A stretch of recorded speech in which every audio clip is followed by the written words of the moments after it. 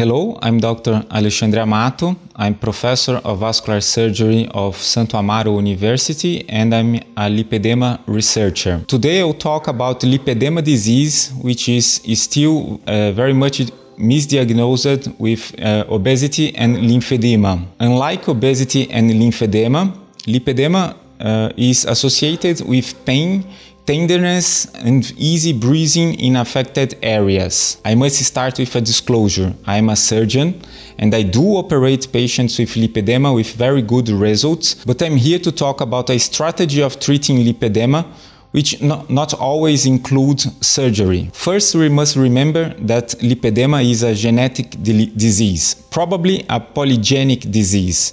And no, there is no surgery that can change our DNA. So uh, liposuction cannot be uh, considered a cure for lipedema. Also, lipedema is an inflammatory disease. It worsens with inflammation and it causes inflammation. So, this cycle of inflammation uh, worsens the lipedema symptoms. Most of the lipedema symptoms are due to this inflammation. So if we can lower this inflammation, we can improve quality of life. But unfortunately, we cannot use common anti-inflammatory treatments for treating lipedema. There is no good improvement using uh, steroidal uh, medications or other non-steroidal medications. The way I see it, the disease has two very important characteristics that must be, that must be tracked.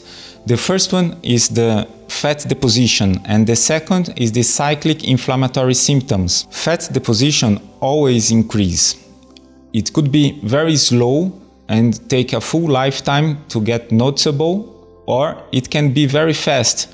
It really depends on how much inflammation the, the, patient has. What really increases the fat deposition speed is the inflammation. If you can stop the inflammation, the fat deposition will go very slow as any other person without lipedema. The inflammation can increase with uh, any acute inflammation. It can increase also with uh, food intake inflammation and with chronic low-grade systemic uh, inflammation. There, there, are many kinds of different inflammation that can uh, worsen the inflammation symptoms of lipedema. What is interesting is that in inflammatory peaks, the fat deposition speed increases. So I understand the treatment as a three-phase treatment. The first phase is lowering inf inflammation. Uh, this can be achieved with proper medication with uh, lifestyle changes and dieting consciousness.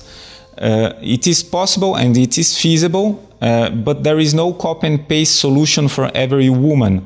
I see in, in my practice we can achieve a 35% of symptoms improvement with uh, clinical treatment only in the first month. The second phase is self-awareness. As soon as the woman understands what causes the inflammation in her body and uh, she removes this from her life, uh, the inflammation goes lower and there are no more, more peaks and the fat deposition gets slower too. And only then the third phase of the treatment uh, can be done. That's the fat volume reduction.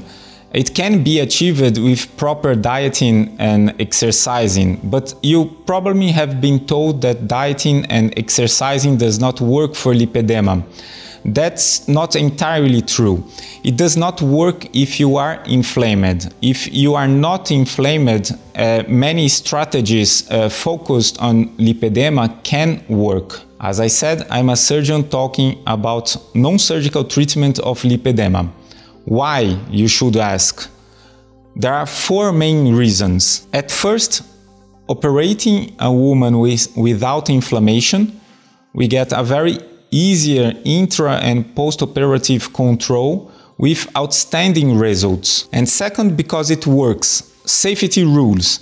It's much easier and safer to remove a lot of fat before clinically without the surgery, and then in the surgery removing only the necessary, then uh, removing a lot of fat in one shot only surgery. Third, not everyone will have access to liposuction. It's, it is a costly surgery and for a multitude of uh, problems, not everyone will get one. Fourth, many women complain about cosmetical problems, but it is a mixture of many other symptoms channeled into aesthetical complaints. Lowering inflammation automatically lower many symptoms and lower uh, aesthetical complaints and also lowers the anxiety associated with lipedema. And we, we should always remember that mobility comes first. We must treat mobility and then we must focus on symptoms